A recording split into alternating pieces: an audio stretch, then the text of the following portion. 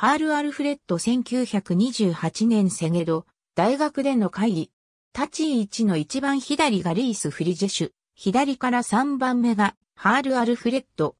椅子に座っている中で一番左がクルシャーク、ヨーゼフ・ハール・アルフレッドは、セゲドに生まれたハンガリー王国の数学者である。1904年、ゲッティンゲン大学で勉学を始めた。博士課程の指導教授はダフィット・ヒルベルトだった。ハール測度、ハールウェーブレット、ハール変換の名は、ハールの功績にちなんでいる。1912年から1919年までの間、クルジュイコールナッポカのフェレンツヨージェフ大学で教鞭を取った。リース、フリジェシュと共に、セゲド大学を数学の中心地にした。また、リースと共に Acta Scientiarum Mathematicarum 雑誌を創刊した。ハールは1885年10月11日にブタペストでハール・イーグネッツとクックス、エマの間にユダヤ系ハンガリー人として生まれた。1903年に中等学校であるファショリギムナージウムを卒業した。そこではラッツラースローの生徒だった。ハールはブタペストで大学生活を開始し、その後ゲッティンゲン大学に移り、数学と科学を専攻した。教育を受けた多くの有名な教授の中でも、エトベシュロランド、クルシャーク・ヨーゼフ、コンスタンティンからテオドリ、ダフィット・ヒルベルト、フェリックス・クライン、エルンスト・ツェルメロに影響を受けた。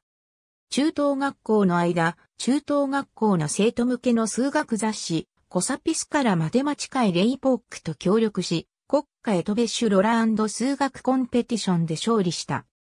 ハールは、ブダペスト工科経済大学に科学工学の学生として入学したが、同年にブダペスト大学に移り、そして1年後、ゲッティンゲン大学に移った。ハールの博士研究は、ヒルベルトの指導下にあり、1909年博士号を取得した。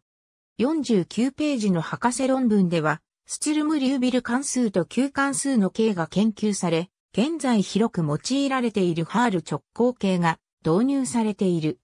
同年、ハールは教授資格を取得し、ゲッティンゲン大学の私講師となった。1902年、オーストリア・ハンガリー帝国のカルジアバーのフェレンツヨージェフ大学が教員に加入してもらうため、ハールをファルカシュ・ジュラとリース、フリジェシュと共に大学へ招待し、ハールはクワティティックスの教授となった。その時からのハールの数多くの講義ノートが後に書籍として出版された。トランシルバニアをルーマニアに割譲するという内容のトリアノン条約の後、大学は新しい国境内にある最も近い都市であるセゲドに移転しなければならなくなった。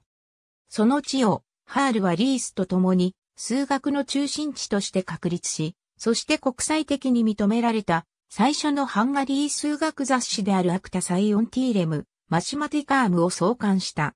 セゲド大学でのハールの弟子の一人が、ショーケファルビナジーベラであった。ハールは1933年3月16日に胃がんで亡くなった。ハールの研究成果は解析学と位相群の分野からのものであり、特に関数直行形、特異積分、解析関数、微分方程式、集合論、関数近似、変分法を研究した。トランセンディングトラディション、11種マシマティションス、インジャーマンスピーキングアカデミックカルチャー、ビルギット・ベルクマン、ページ63。ありがとうございます。